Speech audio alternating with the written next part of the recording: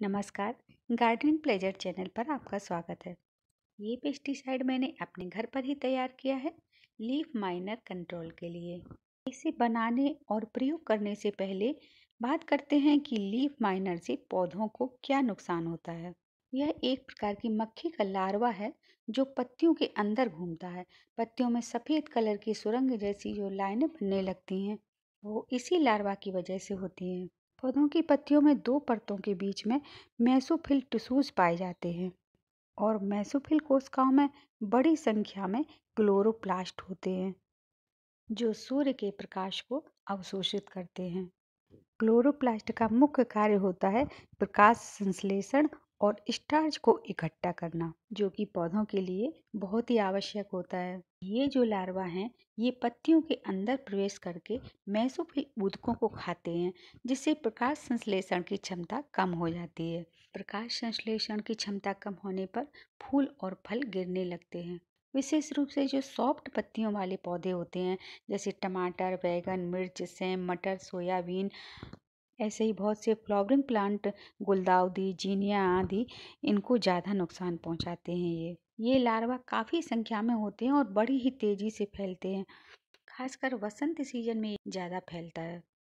तो इनकी रोकथाम के लिए शुरू में जब कम पत्तियों में ही ये दिखाई पड़े तो इन इन्फेक्टेड पत्तियों को निकाल कर नष्ट कर देंगे, ताकि जो नई लीव्स बने, उन पर ये ना फैल पाए।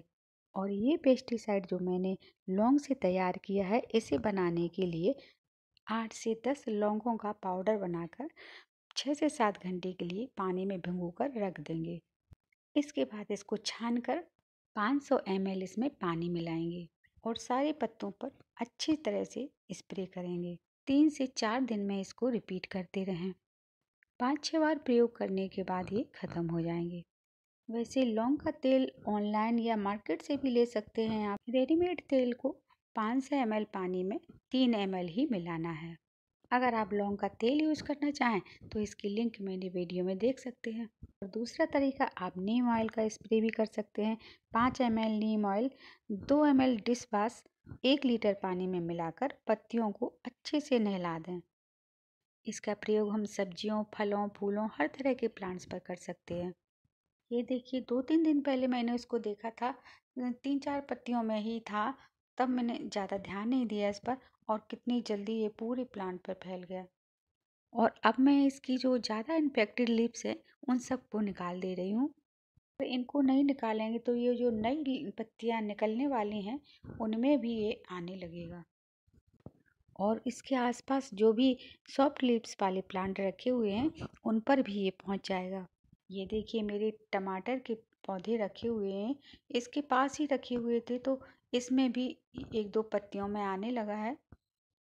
बागवानी करते हुए आप अपने प्लांट्स को चेक करते रहिए और किसी पेस्ट का अटैक ना हो पाए, इसके लिए 10 से 15 दिन में नीम ऑयल का स्प्रे करते रहें।